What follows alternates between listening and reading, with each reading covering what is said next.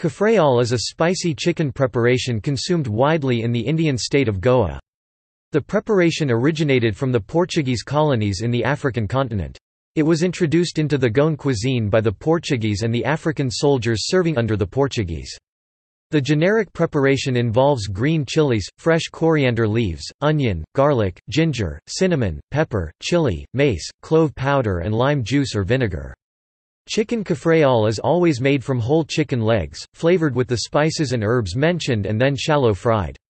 Chicken Cafreal is usually accompanied by potato wedges and lime wedges. It is a popular dish in the bars and taverns of the state.